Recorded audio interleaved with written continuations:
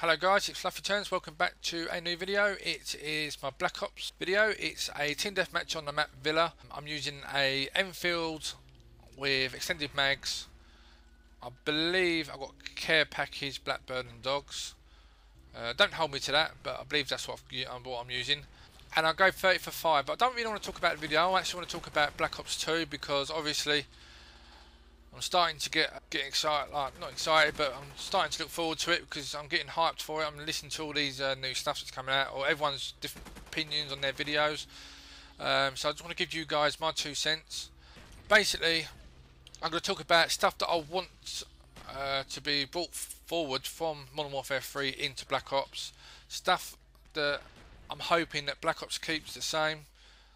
Um, and I just want you guys to obviously leave your comments to let me know if you agree or what what, what would you like to, for them to keep or change and stuff like that. So all in all, um, hopefully you guys enjoy this.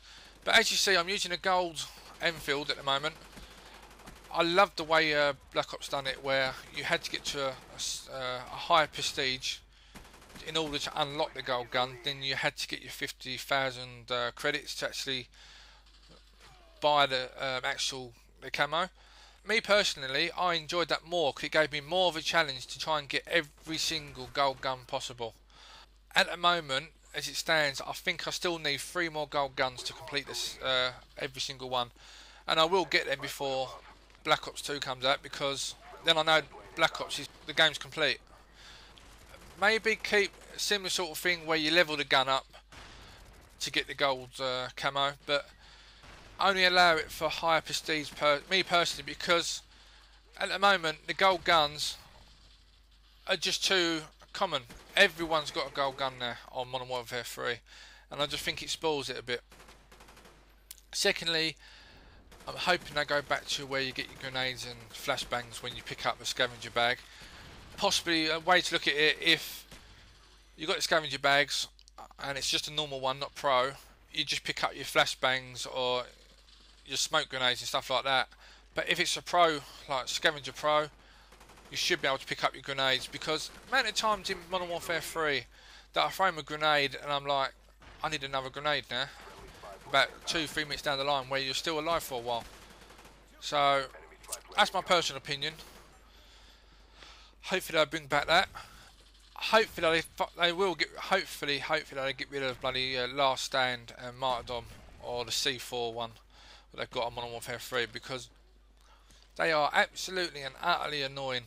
There must be some better way of giving a player that hasn't played as much before or not as good as um, as the people he's playing against better incentives instead of just giving them martyrdom just drop a grenade because they're not actually learning from it in my personal opinion alright they're getting a cheap kill um, which is annoying for us but they're not benefiting from it maybe give them I don't know, something like a flak jacket instead. That might benefit them more, more chance of actually getting a kill, because obviously it'll take more hits for them. Um, so in, in, fairness, the only way you're actually going to get better as a player is by playing, learning and evolving. Obviously the only way you can do that is by playing good players. Um, you will start off bad, but you will you will get better. Everyone gets better. No one stays bad for uh, long if you keep playing it. Keep going at it.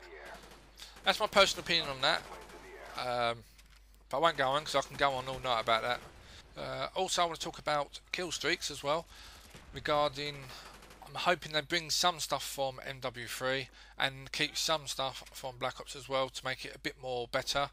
Um, what stuff I want to keep? That your actual kills are the only thing that counts towards getting your next uh, kill streak.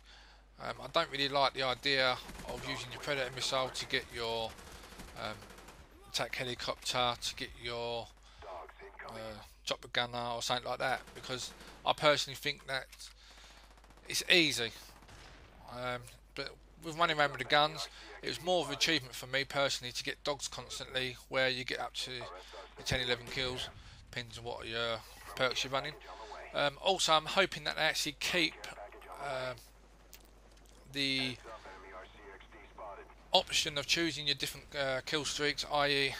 you can actually put, use your D-pad to change it, obviously, so if you've got all three kill streaks. You don't have to use like you do on Black Ops at the moment. Use the last one first uh, in order to get to the others. So um, I will do another little video on Friday. As I did say that it'd be a random video this week. I'll probably, if you guys got any questions, want me to answer, I will add that on to Friday's one. Um, but I'll try and get into a bit more detail with stuff I'm going on about. And I hope you guys enjoyed this video. Um, the gameplay should have been okay for you. So all in all, have fun guys.